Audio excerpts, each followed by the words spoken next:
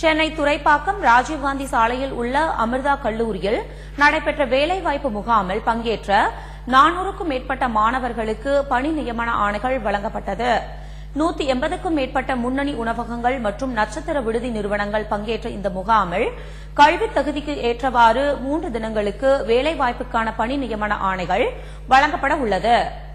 வீட்டோட ரொம்ப கஷ்டத்துல என்னோட ஹஸ்பண்ட் விட்டுட்டு போன நிலைமையில என்னோட ரெண்டு குழந்தைங்களை வச்சுட்டு நான் இங்கே வந்து படிக்கிறதுக்காக லைஃபே இல்லைன்னு நினச்சிட்டு வந்தேன். ஆனால் இங்கே எனக்கு சென்னை சமூகத்தை ஒரு லைஃபை வாங்கி கொடுத்துருக்கேன் எனக்கு இப்போ ஃபைவ் ஸ்டார் ஹோட்டலில் ஈஸ்ன்ற ஹோட்டலில் கொச்சினில் வேலை கிடச்சிருக்கு. Twenty thousand sir